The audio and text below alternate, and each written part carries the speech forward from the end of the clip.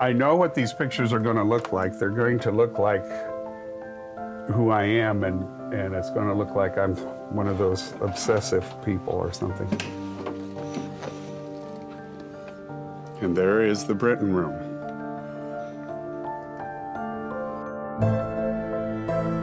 A few days after we were married, I found three truckloads of material that belonged to Frank and Indiana Brinton. It was probably good it was a few days after our wedding. How many of these films are unique copies? Have you thought about bringing an expert in?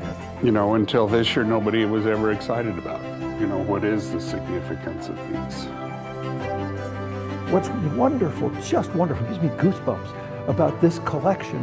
We're talking about a small town in eastern Iowa, and we have a Pathé catalog from Paris.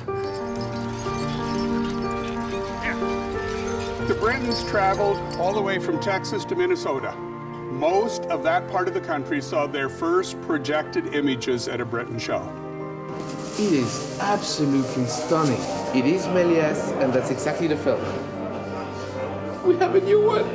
and we'll go to those towns where they performed and we'll put on a show just like was there 120 years ago. I don't think there's anything we could do that would be as big of a leap as what it was for somebody to come in from the field and go and watch a movie. I don't think we can wow people like that anymore. I'd sure like to give it a try.